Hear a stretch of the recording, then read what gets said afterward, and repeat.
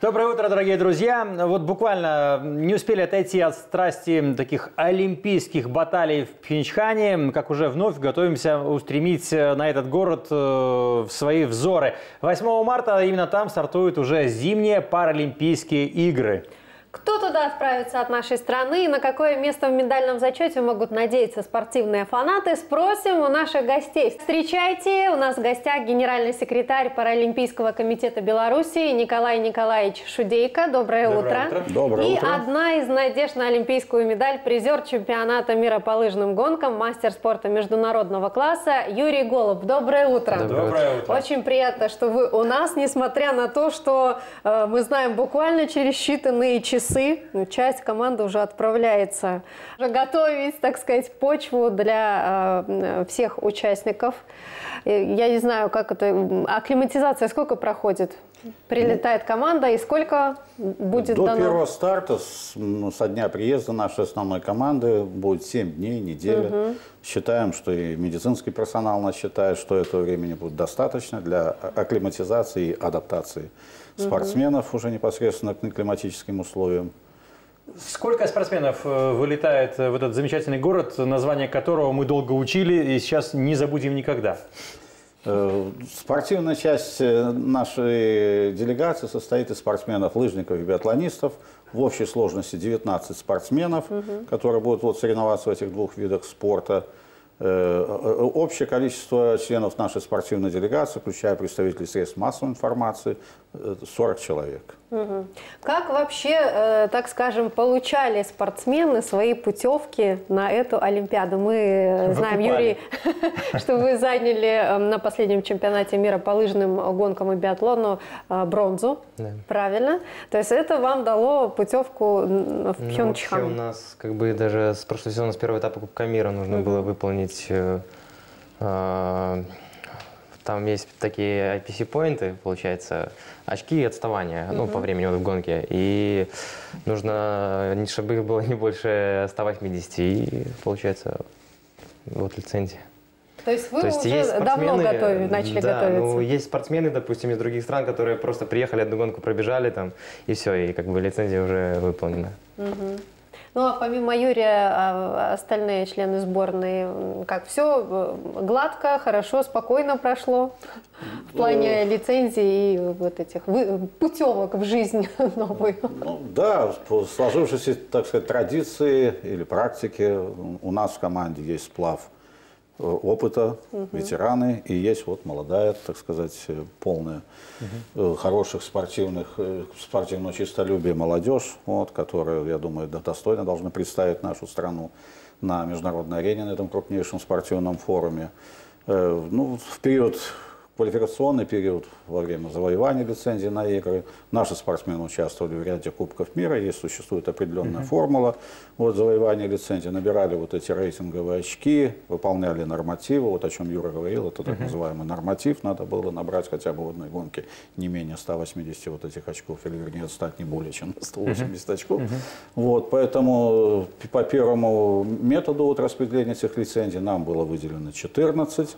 Ну Вот, потом мы получили еще одну дикую карту. И у нас есть еще, вот как и Юра, э, ли- инвалиды по зрению. И согласно международным правилам, у них должны быть э, спортсмены-лидеры из числа людей здоровых. Поэтому тотальное или общее количество спортсменов, спортсменов в нашей делегации 19 человек. Ну, смотрите, видов спорта в зимних дисциплинах 6, да, то есть для участия в Паралимпиаде. А Беларусь представлена в двух видах спорта. Почему так происходит? То есть не развиваются какие-то виды спорта, они не интересны нам или просто еще время не пришло? Для этого необходимо и наличие, э, количественно, чтобы у нас был, так сказать, человеческий ресурс, сам резерв какой-то. Вот, э, с, этим- с этой проблемой у нас с этим вопросом Может просто, люди, может, просто люди не знают, что есть возможность, э, вот мы сейчас им как раз-таки расскажем об этом, то есть керлинг, э, олимпийский вид спорта, Условия, условия есть, есть в прекрасные Беларуси. в нашей стране. Ну, да. Да, я, я считаю, что керлинг, и я убежден в этом, это один из тех перспективных видов спорта, которыми большое количество людей могли бы заниматься, поскольку у нас уже и создана определенная безбарьерная среда, то есть доступность всех э, действующих нынешних современных спортивных арен в Беларуси э, приспособлен для того, чтобы люди с нарушением функции опорно-двигательного аппарата могли спокойно заниматься вот этим видом спорта. Два года назад Э, федерация наша, Федерация Олимпийская здорового керлинга проводила международный семинар, приглашали, выступал здесь главный тренер российской паралимпийской команды по керлингу Антон был здесь, и они пригласили наших ребят тоже на мастер-класс.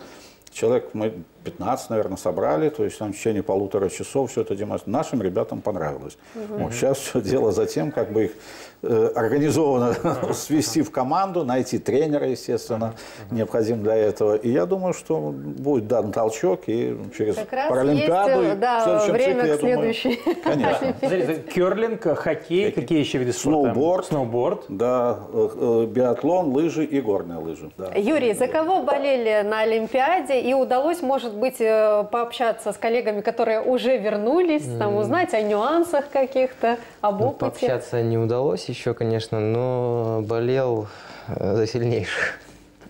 Не скажу, что был кто-то, ну, конечно, за нашу сборную болел биатлонную, мы смотрели, были на сборе в Италии, смотрели, болели, Э, эстафета очень здорово получилась у девчат. Э, В лыжных гонках так, за сильнейших болели. За хоккей переживали, вот э, за Германию переживали. Но они, к сожалению, к сожалению, вот в финале у них не получилось. Нет, ну они и так, на самом деле, Не, очень сборная Германии э, сделала невозможное. То, что они э, сотворили, серебро, Олимпиада, мне кажется, Это что да. это еще долгие-долгие годы будет греть душу ни одного поколения немцев. Так что, в общем-то, порадуемся и за россиян, и за немцев. э, Ну и будем надеяться, что белорусы тоже не подкачают, и все-таки мы тоже будем призерами Олимпийских игр. Но есть у меня еще вопрос. э, Если вспомнить летние Олимпийские игры, Паралимпиаду э, в Рио, э, именно тогда член белорусской делегации флаг э, российской э, сборной пронес э, в этом году. Я так полагаю, что с учетом прошлых ошибок организаторы игр какие-то специальные обращения подготовили к нашей непосредственно сборной? Или это, в принципе, как бы рутинная работа, никаких претензий нам не предъявляют? Мы официальных никаких документов оттуда, или писем, или, скажем, предупреждений не получали из Международного паралимпийского А комитета. поэтому что не запрещено, то разрешено. Ну, я думаю, Намекает.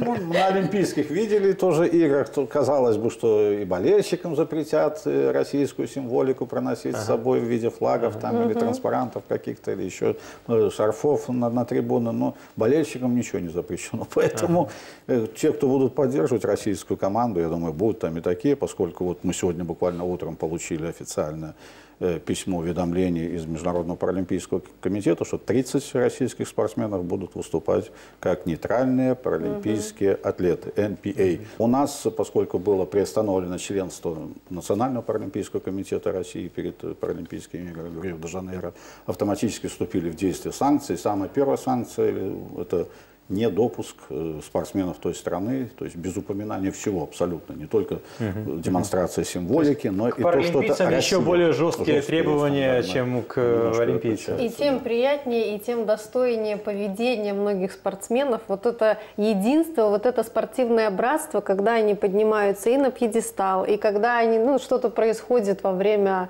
э, соревнований, они друг друга настолько поддерживают, и никто не смотрит друг другу в паспорт, и никто не смотрит, у кого что написано. Все действительно друг друга поддерживают. Это э, какая-то магия особая, которая вот только на Олимпиадах, на соревнованиях, либо действительно не существует э, каких-то границ, преград, так же, как и в искусстве не существует э, разного языка, так и в спорте как-то все едины. Вот чувствуется? Ну, Единство говоря, вот есть какое-то единство, конечно, там между атлетами друг друга, там, ну, и можно и поговорить, и как-то пошутить, там, и обняться, и руку пожать, там, то есть, ну, это как бы уважение просто межличностное, и ничего и больше. это прекрасно. И вы своим примером, таким поведением достойным И когда это еще и транслируется, и потом это все ротируется и э, на различных интернет-ресурсах, и все это видят и смотрят, ну, это, это дорогого стоит. Это свидетельство это... того, что спорт должен быть вне политики, просто-напросто. Это выше и сильнее должно да, быть. спортивная вот это, как она называется, скажем, община, комьюнити, да, вот uh-huh. это братство uh-huh. спортивное, оно действительно жизнится или основывается на чисто человеческих взаимоотношениях, на да. дружбе, уважении, на соблюдении принципов фейерплей, естественно. А, а у меня вот еще вопрос. А, когда старший курс э, заканчивает обучение, он, как правило, молодежи передает конспекты какие-то, знаете, там, чтобы потом и время сэкономить, и какие-то э, нюансы учебного процесса э, легче давались. Наши спортсмены, которые возвращаются из Пхенчхана, они каким-то образом передают рекомендации акклиматизацию пройти таким-то образом, на погоду вот за этой стенкой меньше дует, например. Или ну, вы... есть вот, э, мы общались с лыжниками, там, ну, то есть какие-то вопросы уточняли, что-то нам помогли, что-то рассказали. То есть, ну... то есть там повернуть можно, там можно срезать, нет, до этого ларька быстрее, нет? конечно, но, э, допустим, какая погода, допустим, какие лыжи едут, то есть, ну, вот это есть такие моменты, которые мы уточнили, Нас, общались. Например, из э, числа вот лидеров, которые будут бежать с ребятами-инвалидами uh-huh. по зрению, есть люди, которые выступали на Олимпиаде, поэтому они нам все расскажут. Да, вот они еще знаю. приезжают сегодня, завтра возвращаются. Времени да. просто еще пока вот личной беседы не, не было просто для этого. И у в общем, есть у нас тузы в рукаве, я так понимаю. Тренер наш тоже, один из тренеров наш тоже был на Олимпиаде, поэтому Отлично. мы секреты раскрывать не будем. Да, ну, Но я надеюсь, что они поделятся а хорошей практикой. только желаем и искренне верим в нашу победу. Мы пожелаем вашему спортивному братству и белорусскому и в целом грандиозных э, побед, свершений, пусть все получится. Нашим замечательным паралимпийцам удачи огромной. Пусть она ни на секундочку, ни на долю секундочки не покидает вас а, на стартах, на гонках. Мы еще раз представляем наших гостей, с которыми мы общались. Это генеральный секретарь Паралимпийского комитета Беларуси Николай Николаевич Шудейко и призер чемпионата мира по лыжным гонкам, мастер спорта международного класса Юрий Голуб. Спасибо, что нашли время для общения с нами в столь непростой период подготовки. Ну, пусть наши слова и благодарности, и признательности, и э, искренней пожелания удачи э, вас поддержат. Спасибо. Спасибо. Провожаем наших гостей. С вами, дорогие друзья, не прощаемся. Через несколько минут встречаемся в студии. Хорошего настроения.